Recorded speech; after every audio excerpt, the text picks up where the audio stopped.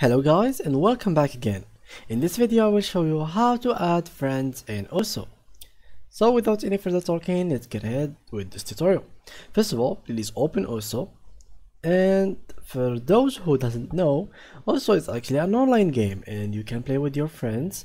Uh, what you can do exactly with your friends is like uh, download the same beat map and after joining a a room you can start the same beat map at the same time and challenge each others of who can like uh, get the best score or stuff like that and have fun together.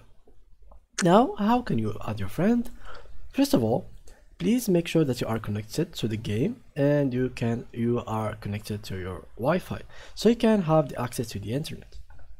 After so you can click on Osu and play.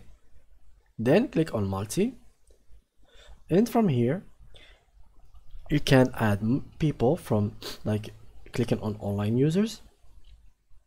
And for for example you can see people ranks you can see people uh, affirmations like as the same as you have here like in the top left corner.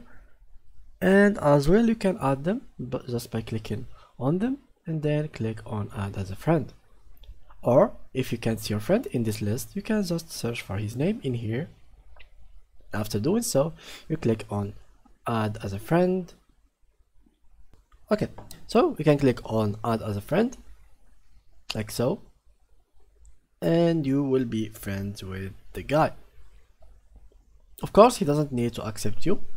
Or some people will have the setting when they uh, make their account private and you can add after adding your friend how can you play together? Well it's pretty simple you can create a new game and then make it private. Uh, it depends on how many players are you. Like if you are on a discord call like uh, eight of you you can keep it eight but if you are less you can make it whatever you want.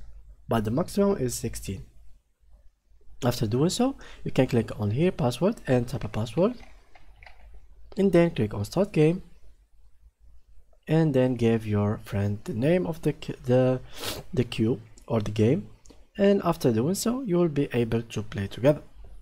So that was the tutorial for today guys. If you enjoyed it please leave a like and thanks for watching